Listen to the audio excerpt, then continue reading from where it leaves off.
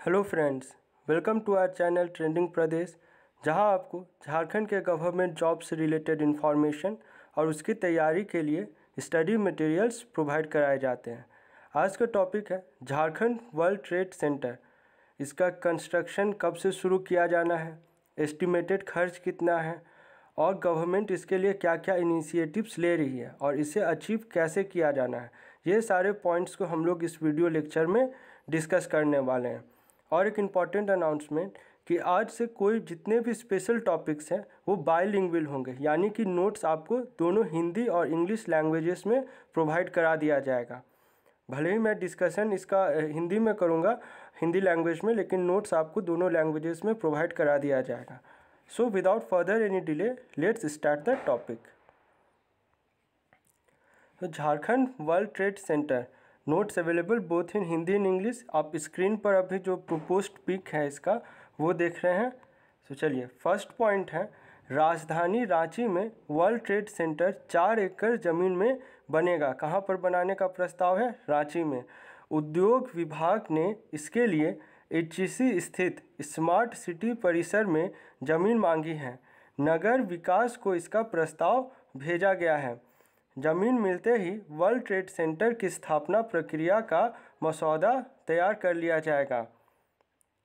प्रस्तावित world trade centre में अंतर्राष्ट्रीय कारोबार से संबंधित सारी सुविधाओं का एक ही परिसर में मिलेंगी।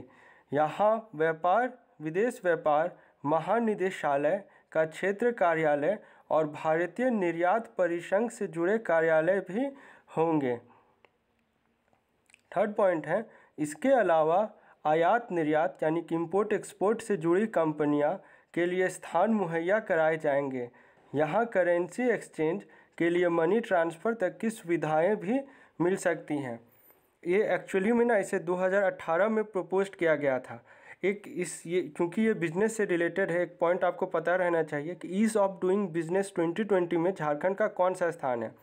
तो ईज़ ऑफ़ डूइंग बिज़नेस में झार ट्वेंटी ट्वेंटी में झारखंड का पाँचवा स्थान है। उन्नीस में कितना था? चौथा स्थान, यानी एक स्थान खिसक गया है।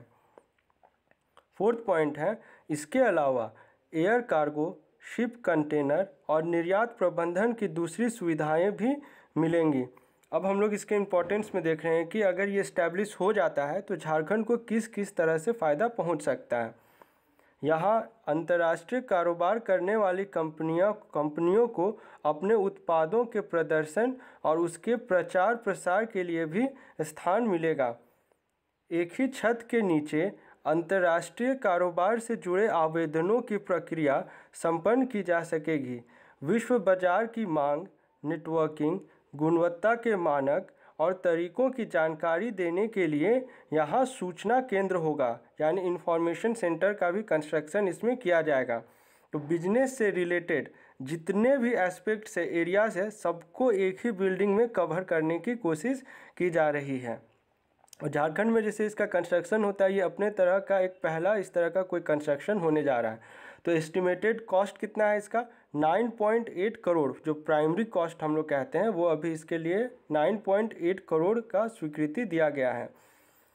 भारत सरकार ने वर्ल्ड ट्रेड सेंटर की स्थापना के लिए नाइन नौ दशमलव आठ करोड़ की प्राथमिक राशि राज्य सरकार को दी है। राज्य सरकार को अपनी ओर से बाकी राशि मिलाकर इस परियोजना की शुरुआत करनी है। आगे केंद्र सरकार की ओर से कुछ और सहायता मिल सकती है। प्रोग्रेस देखा जाएगा, प्रोग्रेस किस प्रकार से हो रहा है, उसी पर डिपेंड करेगा केंद्र सरकार कितना और कब सहायता करती है। 2018 में ही भारत सरकार ने इसके लिए मंजूरी दे दी थी, लेकिन दो साल बीत चुके हैं, अभी तक इस पर कोई काम नहीं किया गया। अब हेमंत सोरेन सरकार जब से आई है, इस पर कुछ कार्य किया जा रहा है मतलब इसके निर्माण कार्य के प्रति जो जो योजना है, उसका विस्तारी विस्तारीकरण किया जा रहा है। नेक्स्ट पॉइंट है, झारखंड से निर्यात होने वाले उत्पाद मतलब बिज़नेस पॉइंट ऑफ़ व्यू से अगर देखा जाए, व्यापार पॉइंट ऑफ़ व्यू से तो कौन कौन से प्रमुख निर्यात हैं एक्सपोर्ट्स हैं?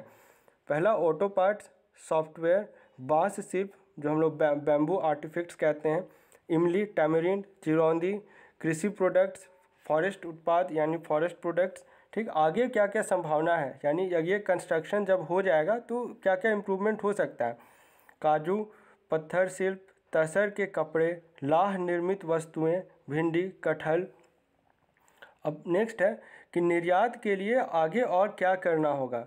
मतलब हम लोग जो बिज़नेस झारखंड जो एक पॉइंट तो खिसक गया ना ease of business doing business में तो इसको इम्प्रूव करने के लिए क्या क्या स्टेप्स लिया जा सकता है ताकि झारखंड का जो बिज़नेस इन्वायरमेंट है वो इम्प्रूव हो सके? पहला पॉइंट है, रांची एयरपोर्ट के एयर कार्गो को पूरा उपयोग करना होगा।